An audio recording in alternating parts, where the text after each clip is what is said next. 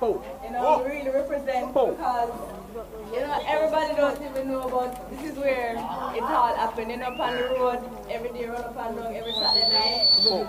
And, yeah, and, you know, I just love the support and I hope it continues and I really respect everybody no matter who you are, you know, and not because I've moved I'm not here. I'm in here, I'm here in, you know, spirit and everything. And whenever I'm abroad, you know, it's all about Waterhouse. Whenever, whenever time them ask me anything about my community, I have to tell them that I love my community because it has helped me be the person who I am.